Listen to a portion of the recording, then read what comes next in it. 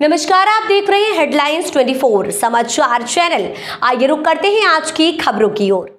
श्री राम लला प्राण प्रतिष्ठा समारोह अयोध्या के पावन पर्व पर श्री राम प्रभात फेरी शहीद भगत सिंह चौराहा शक्तिनगर से निकाली। आयोजक श्री राम भक्त सेना संस्थान बी एच ई एल इस अवसर पर विधायक प्रतिनिधि गुड्डू सक्सेना, पार्षद सुरेंद्र बाटिका डॉक्टर संयम जैन सहित कई समाजसेवी एवं धर्म प्रेमी बंधु उपस्थित थे।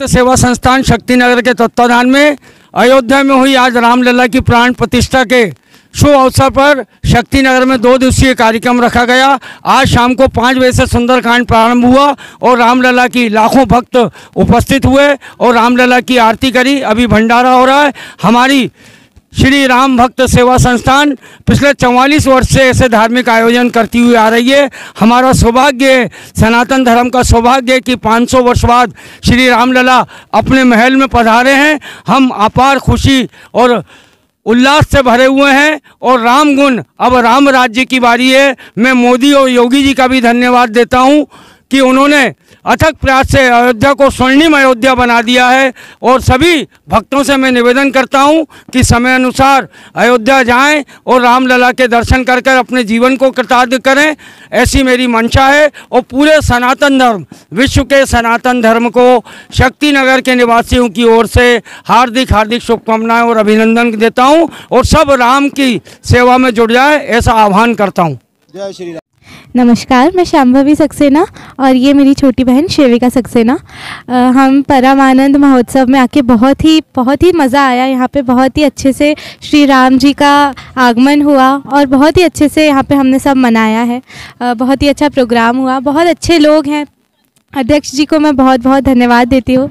उन्होंने हमें यहाँ पे बुलाया जिससे हम सभी को अपने भजन से प्रे- बहुत अच्छे से सुना सके और बहुत मज़ा आया हम लोगों को।